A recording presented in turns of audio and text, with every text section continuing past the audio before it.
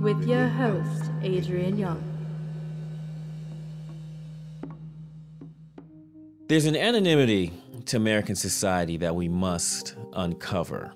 You see, we must reveal the face of the evil genius in order to reprogram the enigmatic system that normalizes complacency by the people, the media, and the world. What does he, I underline he, look like? What am I talking about? I'm talking about the application of responsibility. I'm calling out those that don't recognize the machinery, those that continue to fuel the gears of injustice by seeing my problem as my problem, opposed to seeing my problem as our obligation. Problems as our problems, and how the world passively turns a blind eye to what they feel doesn't directly affect them. I can't make you care about black people, but if I try hard enough, I could make you realize that we are all black, at least to some degree. Because history reveals fallacy as the truth radiates the cancer in the organism, the machine. You can't fix it if you don't see its operation, and you won't know something is wrong if the guard is telling you, don't worry, they are just starting trouble. All lives matter. There's no problem with the system. Blacks and Latinos just have a higher propensity to commit crime. We are not targeting them, they are targeting us. This is the rhetoric, and the media is equally at fault from news coverage to television shows like First 48 that seemingly only have behind the scene access to people of color committing murders. Again, when you are indoctrinated with only one side of the story, it becomes more and more difficult to unravel the anonymity of American society, the machine. Now, why is it that when people see the posters for my American Negro campaign that state, Abraham Lincoln did not care about black people, I'm suddenly fueling hate speech? I've received messages about this. Think about this and why someone would be offended by this accusation. It's because we are indoctrinated from birth with rhetoric in order to make us feel like America has no race problems. And if you deny it, you are a troublemaker. You are perpetuating division or divisiveness at a time when we are the most divided. Seriously? We are taught that Abraham Lincoln was honest Abe, but when Lincoln was accused by a political rival of being a black Republican or someone that stood for Negro equality, he responded, I am not nor ever have I been in favor of bringing about in any way the social and political equality of the white and black races. There is a physical difference between the white and black races, which I believe will forever forbid the two races living together on terms of social and political equality. You see, if you don't know the facts, you can't reasonably contextualize how and why racism still exists. Race is a social construct and was insidiously pioneered to qualify the institution of a slaveocracy. Again, there is an anonymity to American society that we must uncover or reveal so that both sides clearly understand what's going on. But this unearthing needs strength, it needs power. It requires a continuous flow of new people and ideas, passionate about posterity and justice for all. And my next guest is one of those people. She's an academic and civic leader, a co founder of the Los Angeles chapter of Black Lives Matter, a mother of three, a womanist scholar, activist, and tenured professor that puts her life on the line for all of us, a beautiful person, a human being that I have the utmost admiration and respect for. Please welcome a true American hero, Dr. Melina Abdullah. How are you? Thank you so much for having me. I'm, I'm okay. Yeah. You're okay. it's an honor to speak with you because your life is dedicated to your missions, your passion, you know? And I just want to jump in and just build with you. We don't even have enough time because I could have a 24 hour discussion with you. But first of all, I want to ask you know, I've noticed that the more active approach people take in contextualizing and refuting revision history, revisionist history, the more they are attacked by those that are intransigent against the views they passionately find un American. Why is it that when we explain truths, we get hated on? Talk to me about this. What do you think well, about that? I, I really loved your opening, right? And Thank you're absolutely right. Abraham Yeah. Lincoln didn't care about Black people. He said it, right? He Yeah. said, you know, I am here to preserve the Union. If I could do so without freeing one slave, I would, but I can't, so I won't. I'm paraphrasing, right? Yes. Yes, Um, yes, yes. But but you're right. The issue is you're telling the truth, but for our entire lives, we've been fed lies, right? We've been told that, you know, Columbus discovered America and Abraham Lincoln freed the slaves, right? Um, and it's really difficult to kind of um, challenge that both socialization and miseducation. But that's the work that we have to do both in our organizing work both in our uh, media work and through our formal educational work. So this is why i teach pan-african studies to make sure that we teach truth that we center different ways of knowing and that we do work that's um, intellectual building for the benefit of our people it's a long struggle you also raised you know this constant propaganda right that you know, it's not just what is it, the first 48. I don't watch very much TV, but yeah, I, yeah. yeah, I think First it was 48. first 48 that you mentioned. But beyond that, like, why do we have to have a CSI for every city, right? Why is there, you know, why are there so many cop shows and of every angle, right? From, you know, I enjoyed watching Ride Along. I thought it was funny as hell. I don't know if you cuss on this show, but um. I thought it was really, I, I enjoyed it, right? And it was propaganda, right? Um, we have to remember that we're constantly socialized to believe that police, even the most rogue cops, bring us safety, right? The truth is, as we begin to challenge it and dismantle that problematic kind of frame, the truth is that communities have always been the ones to bring us safety. I will say that I have yet to meet a Black person on the face of this earth who has felt safer because a police cruiser pulled up behind them in traffic, right? Mm, Um, and so it's really important that we understand that there's a truth that challenges the misinformation, the propaganda, the propaganda that's been fed to us, but it doesn't cut through as easily because through every mechanism possible, the state and the police state in, in particular are feeding us these lies about what policing is, about who we are as Black people, about the presence or um, absence. They argue that that white supremacy only exists when people call you the N word. That white supremacy is not at play in um, shutting Black folks out of mainstream media. That that white supremacy is not at play when you talk about how our children are miseducated and criminalized, even in our schools. They try to act like it's Black folks' fault that we are contracting COVID 19 and dying of the disease um, at a rate that's two to three times our population share, when it's really um, the fault of a healthcare system that is not worthy of our trust, right? And so it's really important that we think about those things. But this, I think, speaks to the question that you raised why it's so difficult, why people become so up in arms when we say, hey, you know what? Lincoln didn't do this because he likes black people. He did it as a political calculation. absolutely. It's interesting going into this concept of propaganda. I love hearing you talk because of the detail, the vernacular, the perspectives you provide with words. I love I love the energy. And you know, the concept of police officers is as American as our Declaration of Independence, a declaration that was created to protect white male landowners and their interest against everyone. That's one of the reasons I talked about he at the beginning. You know, uh, if we look in our history books, we'll find that the first time, first full time publicly funded police force was created in 1838 Boston, but it, it started much earlier than this in the South. Can you talk to me about the true evolution of America's police force and its objectives and how these objectives still haunt communities of color today? So, this is something that's also very difficult for people to understand and to get right with.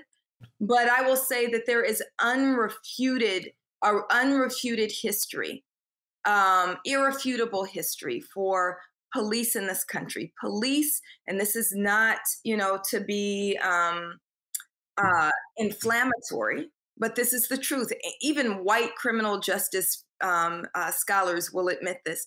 Police in this country evolved from slave cap- catching. Point blank, period. It's irrefutable, right? And so, where they come from, if you trace them back, is they come from paddy rollers. So, when um, white landowners, when white folks who dared to call us their property, their chattel, right? When we dared to take our own freedom, they enlisted the support um, paid people that they called paddy rollers, slave patrols, to go out and find and hunt us and return us, return our foremothers and forefathers to ownership, right? That to to make us uh, slaves again, right? And I, I never use that word because I don't believe we ever were slaves. We were enslaved. Enslaved. Mm-hmm. But we were never slaves. We were always yes. fully human with an unbroken connection to the divine. And so we were not slaves. We were enslaved. And that's what compelled our foremothers and forefathers to take our freedom. Because if we really understand God, um, whether you be a Christian or a Muslim or practice, you know, traditional African religions, it's actually sinful to submit to a master other than God. And so God compelled our foremothers and forefathers to take their freedom, right? And if you read about abolitionists of the day, if you read, you know, what Mama Harriet Tubman had to say mm-hmm. for herself, what Nat Turner had to say for himself, what David Walker had to say for himself, what Frederick Douglass had to say for himself, they were completely Henry Highland Garnet, right? Um, I think about his words, right? They believed and understood that the work that they were doing was by divine order, right? The work that they were doing to take their own freedom and the freedom of other African people was sacred work that God compelled them to do. And so, as our people went to take our own freedom, we saw those who would dare to sin against God and say, No, God is not your master, I am your master. Pay slave patrols, pay paddy rollers to go out and hunt us, find us, and return us to this condition of chattel, to this condition of property. That is the legacy of policing in this country. That's where it comes from, the target on the backs of Black people is not coincidental, it's not accidental. It is deliberate and intentional based on that history of policing. So, from that perspective, you're telling me that the origins, the ideology of public funded police in America is the surveilling of Black people, right? The surveilling, dehumanization, and ownership of mm-hmm. Black people, the brutalization and theft of life of black right. people by a white capitalist state. Yes. So it's it's interesting because when we go from slave codes to black codes, uh, you will see that this duty to protect white landowners with their let's just say chattel for purposes of this discussion their the duty was a community duty if you did something that would not allow the slave codes to, or, or that would just abridge the catching of a slave, you can be fined. You can be uh, punished for getting in the way of bringing the enslaved back to their enslavers. And it's just an interesting conundrum here because people look at the police as if it's something that is as natural as humans just being humans. But when people like black well when when coalitions like black fun black lives matter you know when different activists different academics talk about defunding the police it's difficult for the average person that doesn't really understand history to perceive a community without a police force. So, like, how would you explain to them that? Well, let me back up for a second. Can you give a give a better expl- explanation than what I'm giving to defund the police? Like, talk about that. Um, defund the police is actually exactly what it sounds like. We want to take money away from police and put it into the things that actually create safe communities. So it's not difficult, it's not complicated. Right. We know that in major cities like Los Angeles, we're spending upwards of 53% of our city's general fund on police when the challenges that we see in our communities are things like housing and healthcare and mental health resources and educational programs and arts programs, that's what we need money for. We don't need money for police. Police kill our people, police brutalize our people, police surveil and traumatize our communities. And so we're saying defund the police because, um, you know, Barack Obama called it a snappy slogan. And I was saying, no, it's not a snappy slogan, but I actually disagree with myself. It's pretty snappy, right? Um, but it's not just a snappy of course, slogan. Of course. It's a policy demand. It's a policy yes. demand. And yes. that's what we mean when we say defund the police. We mean that literally. Right. So, something that's very interesting about you is your passion for righteousness and seeing you on the front lines. Um, what does it take to be an activist? What is that move? Like, what does it take? So, for me, um, now I'm telling you my whole life story, but for me, for mm-hmm. um, you know, I've always had a degree of consciousness. I was born in the 70s in Oakland, California. You can't be from Oakland in the 70s and not have a degree of consciousness, right? And so I'm grateful for the time and place in which I was born. I'm grateful to be of the Panther Cub generation, hip hop generation, um, and how that kind of breathed consciousness into me. Um, that said, you know, there's kind of a rebelliousness that comes with that time and place. It wasn't until the birth of Black Lives Matter, and I was one of the original members who convened to form Black Lives Matter. I had been in community in Los Angeles, moved moved here in my 20s, and had been, been in a community of Black organizers. But what happened with Black Lives Matter was kind of this um, visceral response to the theft of the life of Trayvon Martin and the state condoning it by backing George Zimmerman. So Black Lives Matter was birthed the moment that George Zimmerman was acquitted in the murder of Trayvon Martin. I've always been an activist, right? I've always been taught to fight oppression, to stand up for what I believe in, to join with others, right? That was part of what was breathed into me. But I think there's a difference. That's activism. Activism is not being quiet, is refusing to just submit to the way in which the state assails us. But I became an organizer through Black Lives Matter, which means that I'm still an activist. But I also know that when I talk about, um, when we talk about creating systemic level change and toppling institutions that are meant for our oppression, it's not just about pushing back, it's about visioning forward. And so, for me to be an activist and then to evolve into an organizer, I was able to step into that because I believe it to be my sacred duty. Um, people talk about callings, and I have a very strong connection to my spirit, to the divine, and to my people. And I felt called into the work. And so I think to be an activist and to be an organizer, right, which is a deeper commitment, we have to also be connected to each other because you can't organize by yourself, right? Um, and have to be connected to spirit and to the divine and move in a way that is really, again, when we think about Mama Harriet Tubman, not that I'm any Harriet Tubman, but I learned lessons. I learned lessons from her, right? That we have to be unapologetic about the way in which spirit pulls us towards justice and to do righteous work. It's as if it's therapeutic for you in a way.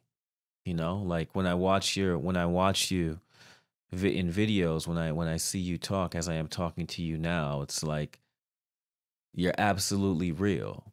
And if you can think about just kind of think back to after the George Floyd murder,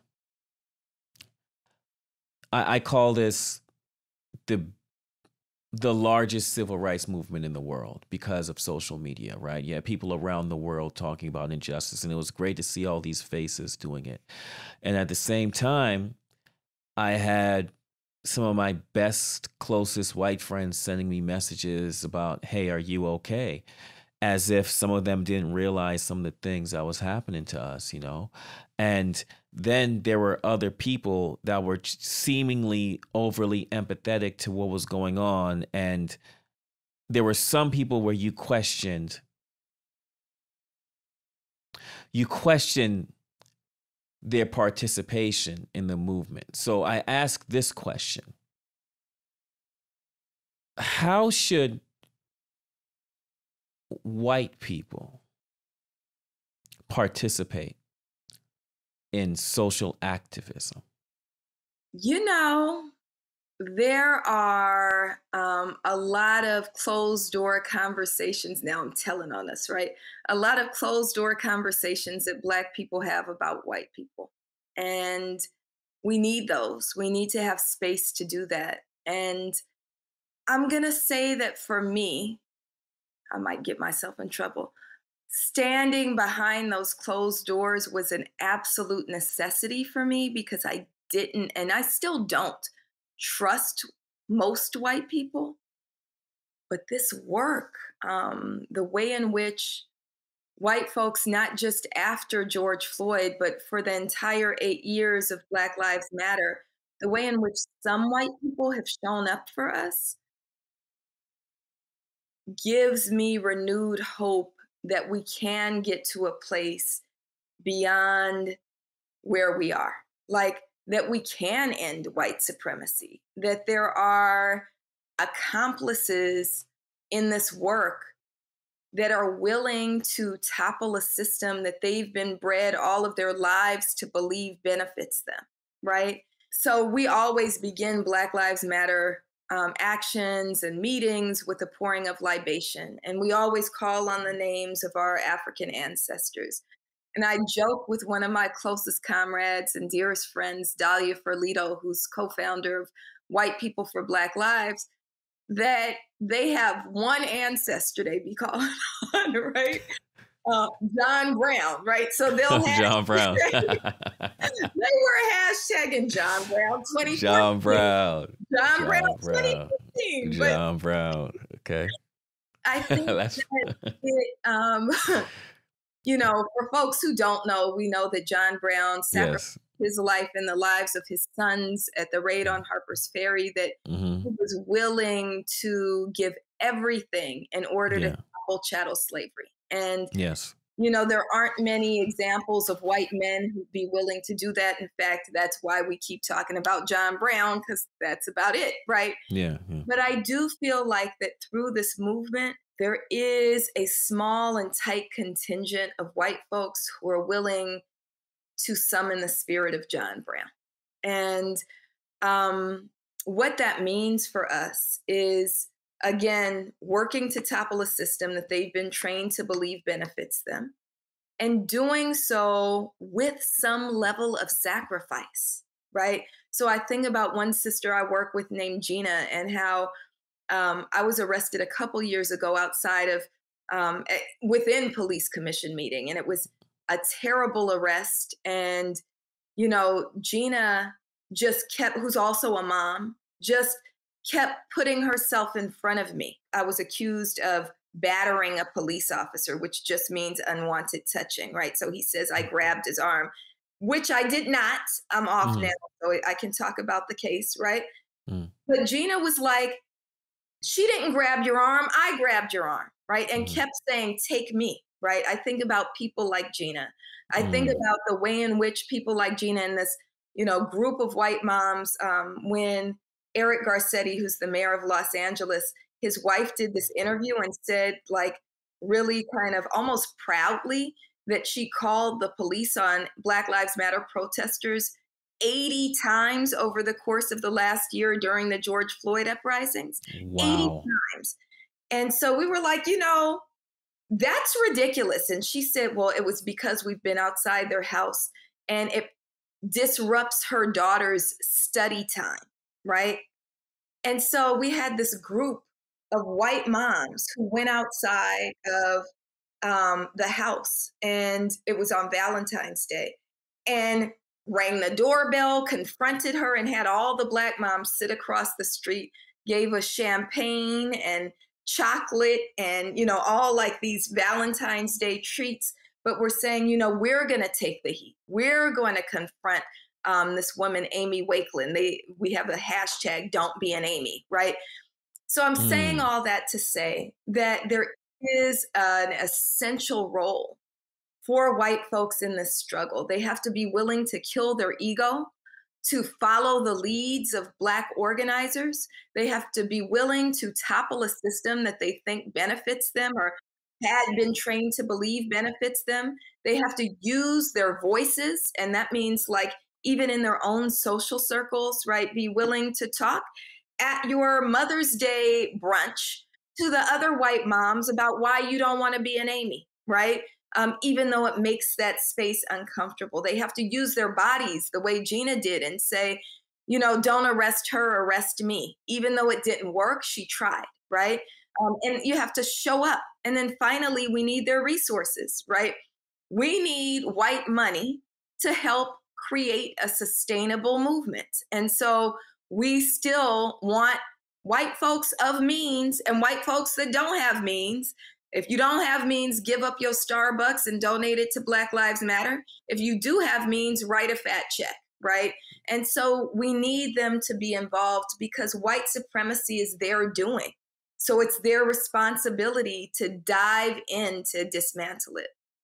But when you say white supremacy is their doing, are you saying that there's a nexus between what white people are doing right now and what white people did centuries ago? Or are you saying that they are continuing to maintain the machinations that were put in place back then, whether they know it or not? So therefore, they are a conduit to the past. Like I know those are kind of the same thing, but but a little different. Like what are you really saying when you are bringing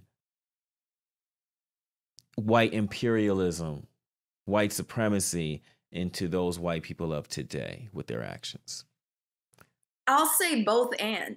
They are responsible for their history, right? And mm-hmm. so I want us to think about it in terms of reparations, right? Okay. That white folks stole the labor yeah. and resources of black folks, right? Yes. Just because that happened it wasn't you that did it. It was your great, great, great, great grandfather that did it, right? White people. Let's put it in, in terms that we can visualize. We had uh, a trunk full of gold. Your great, great, great, great grandfather stole that trunk full of gold, right? They're the thief, absolutely. And they beat us brutally, and some of us died so they could get that trunk full of gold. You're right, you didn't do that. But guess what happened when your great, great, great, great grandfather died? They passed along that trunk full of gold. And now your great, great, great grandfather got it, right? And they built upon it. And then they passed it on to your great, great grandfather. They still got my great, great, great, great grandfather and mother's gold, right? And then they passed it on to your great grandfather. Then they passed it on to your grandfather and your father. And now you, you have my gold, right? So history is ever present. you still owe me my gold. I still want my trunk of gold back. Give me that gold. So you are not absolved from the crimes of your forebears, right? Until you make it right. That's what reparations means. The root of that term is repair. Repair the damage that was done, right? So how do you how do you make it right as a white person? So I, I look. So I, of course I understand every single thing that you're saying. I totally get it, and I have some of my closest friends are white. Some of my closest friends, and they're you sound like like I got some of my closest friends are black. People. Are black, yeah, yeah. My my my daughter's halfway. Yeah, no, no. But I, I say this all to say because when I'm talking to them about these issues, right, I don't look at them as the other white people that maintain white imperialism. I look at them as the people that fight for me and a lot of times even more than some of my black brothers and sisters, right? So the issue is what kind of culpability should they feel when they are advocating for us to be equal? You know what I'm saying? And like that's I think that is something where like for example, I know you've dealt with this many times where, you know, I'm sorry, are can I call you black or oh, I'm sorry, can I call you African American? Is it mm-hmm. Negro? Is it colored? Like, like mm-hmm. there there is this respect. Oh, African Americans, right? So they feel yes. like they call you black, it's disrespectful, but so they'll go, my African American. No, right, right, right yeah, uh-huh. right, right. So, so I, you know, I, I say this all to say, of course, I, I understand everything that you're saying, right? But then there are those white people that are there for you more than some of your brothers and sisters, and you applaud them for being that, you know? And like, how should they feel? Or let me, re- like, how should they feel? And do they have a different duty because of their position and because of their heritage um, of this country? Yes, they have a duty. Um, how should they feel? I don't know how they should feel. I really don't care how they feel. Um, I don't care how I'm, I'm, you know, you know my generation. So, yeah. you know, I'm not that into feelings, right? I care what you do, right? Yeah. I care what you do. So you might feel like, well, I'm not racist. Well, all white people, this is going to be controversial, but it's true. All white people, regardless of how you feel, benefit from white supremacy, every single one of you. And it becomes your work to engage actively in anti racism, right? It becomes mm. your work mm. Mm. to actively undo the system, not just to say, you know, I have Black friends, but what are you doing to make sure that, you know, we and our children mm-hmm. get to walk down the street freely, right?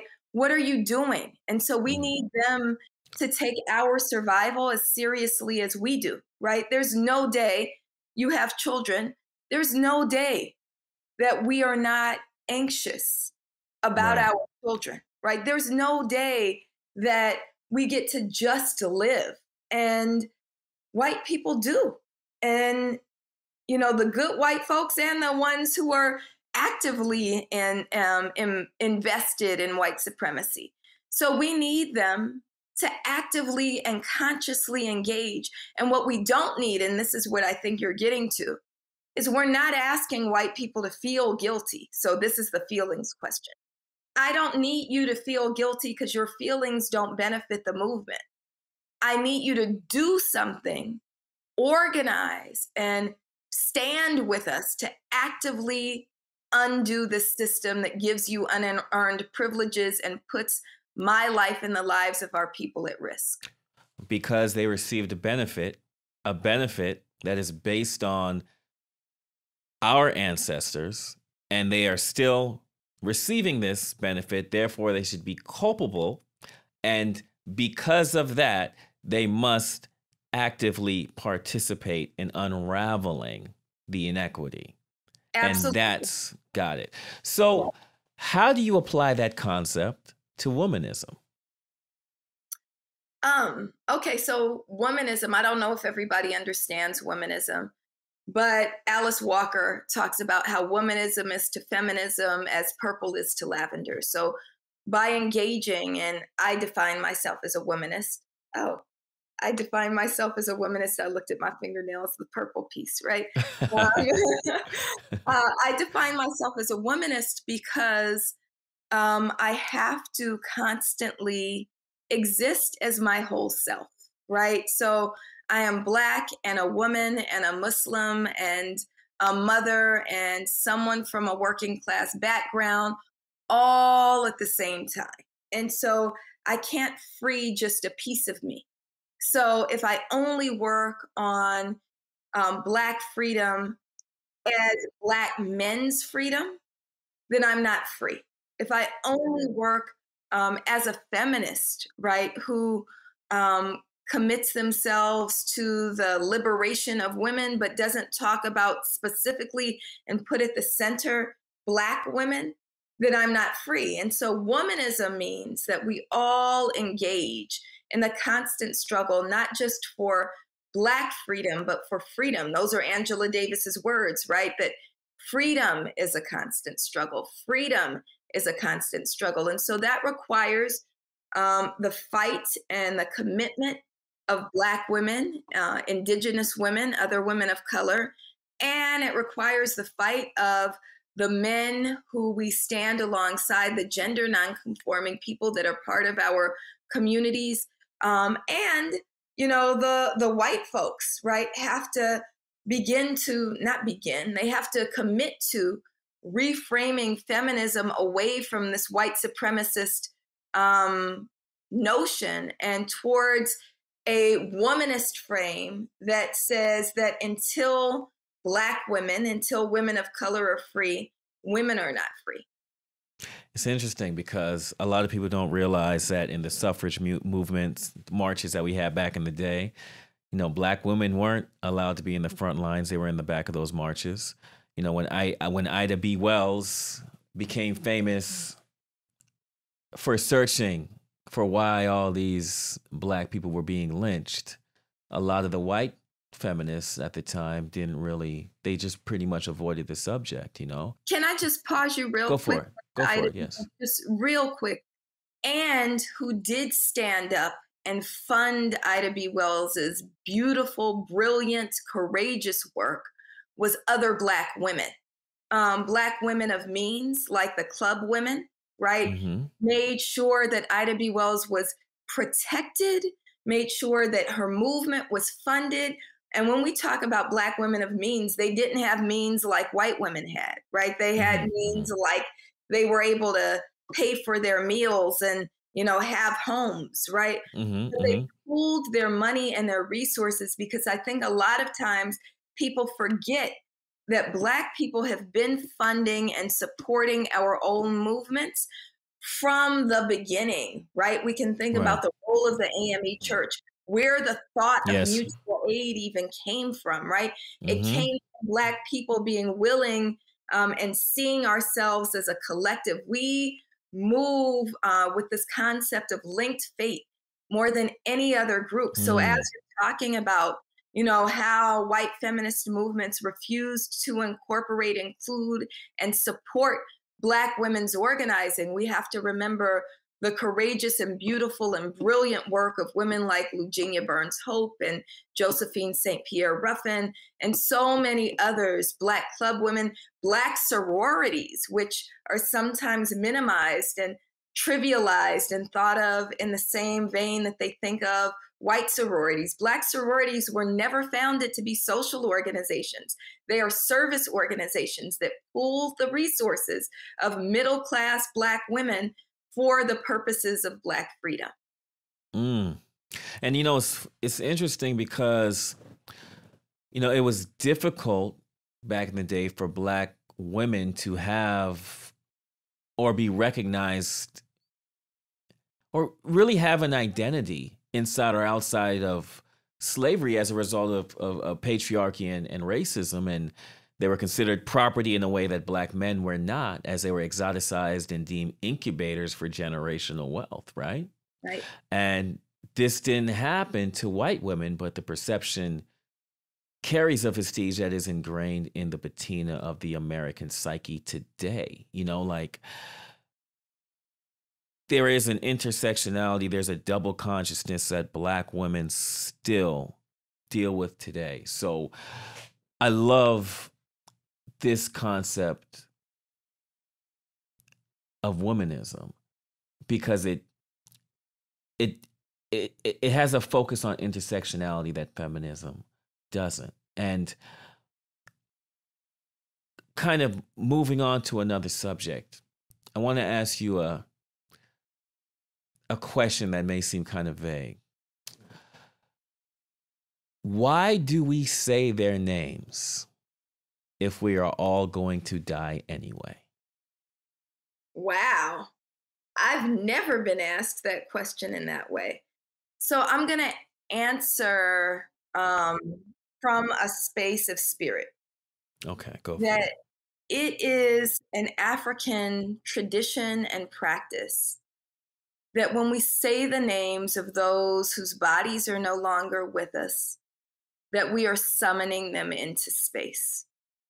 And mm. so that we the work that we do in the name of George Floyd and Breonna Taylor and Ahmaud Arbery, but also those who were killed here in Los Angeles and in California, people like Oscar Grant and Ezell Ford and Redel Jones and Kisha Michael and Marquintan Sandlin, when we say their names, it's summoning them into the space. Because you mentioned this notion of righteous work, right? Work that's done just from a space of concept is not grounded in righteousness. Now, you can seek to move righteously, but there's nothing that you're tethered to, right? And so the reason that we say their name is because we want to do work in their honor. So, you know, you hear people sometimes talking about justice for, right? Justice for Trayvon Martin we can't really get justice for him. Justice for him would mean that this 17 year old child would have been allowed to walk to the store and come back and watch the basketball game with his father and brother and been a child, right? That would be justice for him. But we can get justice in his name. So I'm going to call Trayvon's name because I need his spiritual energy to make sure that the struggle for justice that I'm engaged in in his name is a righteous one. So we say their names for those reasons. We also mm-hmm. say their names and we um, have something called more than a hashtag, more than a hashtag LA.com has some of the stories of those who've been killed by police. I'm sorry, more than a hashtag LA.org has some of the stories of those who've been killed by police. We want people to remember that we use the hashtag and we constantly engage with the families to ask them if they feel. I remember at a certain point, I felt like, am I disrespecting your loved one by putting a hashtag in front of their name? Mm. And I was speaking with the family of Wakiesha Wilson, who I'm very close with. And her mom and auntie were like, no, we want you to put the hashtag there because it's shorthand, right? People know exactly what it is when you hashtag a name. We don't have to explain. It's clear. People have now been conditioned to understand that when you hashtag a name, it means that person was killed by police or by the state. And so they mm. want that. But when we say more than a hashtag, we also want you to understand that Wakiesha Wilson was a loving mother of a child, Jamel, right, who is now graduating from high school without his mom. We want you to know that Wakiesha Wilson is one who, when her friend didn't have a place to live and Wakiesha was still struggling financially, she said, I can't give you money, but you can come live here, right? We want you to understand that the reason they call uh, Wakiesha Wilson Webo is because she was a beautiful little plump brown child and they used to laugh at her because she would constantly topple over and they would her family would say weeble wobble but she don't fall down right so yeah. we want you to we say her name so that you can see her for her full humanity not just the hashtag you know it's interesting listening to your explanation, right? Because life isn't about dying, it's about living your life. So saying their names edifies their unique existence while at the same time recognizing the fact that they didn't get to enjoy life on earth like other people get to do, you know? That's and right. yeah, and, and, gave me it. chills with that, right? It's also embracing them as living beings, knowing their life story, not just their death story. Yes, you know, so as I talk to you, as I see your passion, how do you find happiness in the struggle? Uh, because outside of an organizer, outside of an activist, outside of a professional academic, you are a mother and you give that energy to your family. How do you stay happy? You say you do cuss on here or you don't? You could cuss on here, go for it. Do you know how fun it is to stand outside the LA Police Protective League, the police association that stole the life, the head of the police association, his name is Jamie McBride. His daughter, Toni McBride, just killed, a, it's been a year since she stole the life of Daniel Hernandez. And so it gives me not just joy. Well, maybe I shouldn't say joy. Well, no, it is a sense of, it's a reclamation of my power to stand mm. with Maria and Marina Vergara, the mother and sister of Daniel Hernandez, and say, fuck the police, right? Mm. It gives me great joy. It gives me joy to um, stand in front of the mayor's house and dare him to call the police on me again, right? Um, but it also the the power that comes with this and the way that my children are reared up in this movement. My I'm a single mom of three kids, right? Mm-hmm, mm-hmm.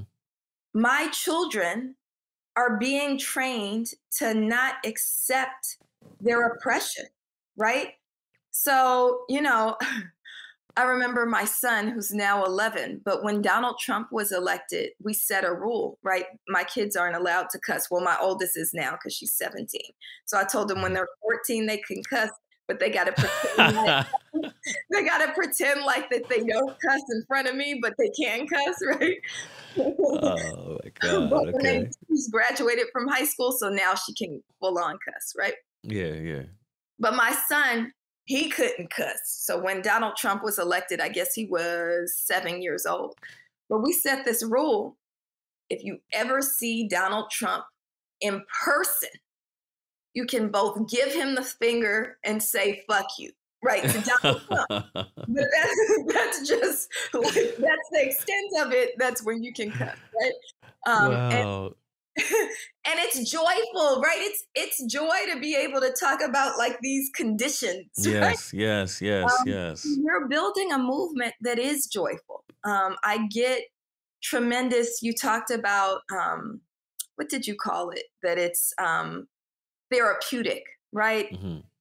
it's therapeutic but it's also joyful we built a movement Mm. that you know sunday we had this mass march and we took over this huge intersection in this white affluent space on 3rd and Fairfax. And when we got there, we turned up This is America. And one of our members is a dance instructor. And we all like danced, 500 of us in the intersection, right? And, you know, gave the finger to the helicopters that were overhead. And Mm. it's a joyful movement. It's a movement that you know we're abolitionists so we're trying to upend unjust systems but abolitionism is also about building the world that we envision building the world of our most radical imaginings. And so that's joyful to imagine a world Mm. like if you think about the world like what does it sound like? I know you know about sound right? What does it sound like? What does it feel like? What does it taste like? Right? What does it smell like right?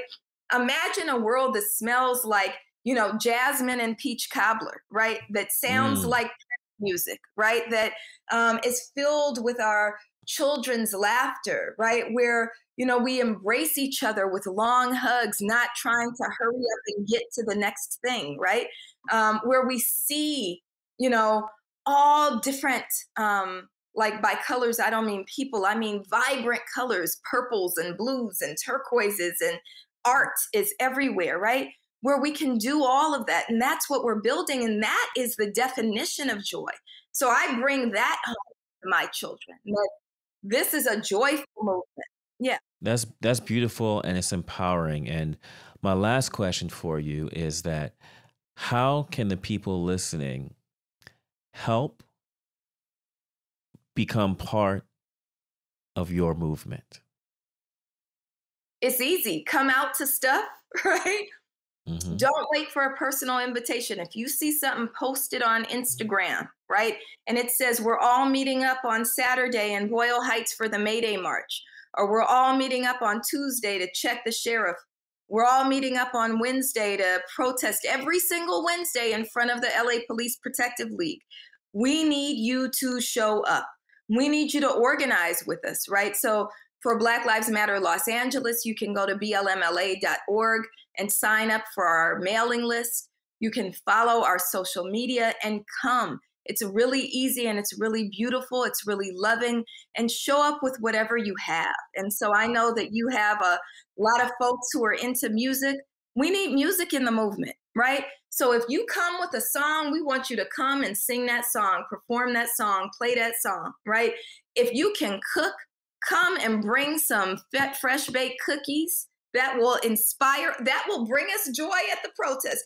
And seriously like we've seen people do this. We have this woman had this woman at one of our protests who um, as we were protesting the district attorney actually worked for the district attorney. And she said i can't come out and protest with you but she had this huge box of pan dulce. And she was like hmm. Here i just want to give you something to stay say stay at it and mm. that's what you have to give bring whatever you have to give your resources your talents your gifts bring them to the movement and invest them in the movement and it really is a joyful and fulfilling place to be well you are honoring your commitment to our ancestors. And when I ask myself what freedom looks like for us, I look at people like you to provide the vision and scope of work necessary for us to achieve equality. You are a living legend. You are key in transforming the way the world is understanding cultural competency. Thank you for your continued service, and I hope to be on the front lines with you one day Thank you for being on Invisible Blackness. Thank you so much for having me. I loved this conversation.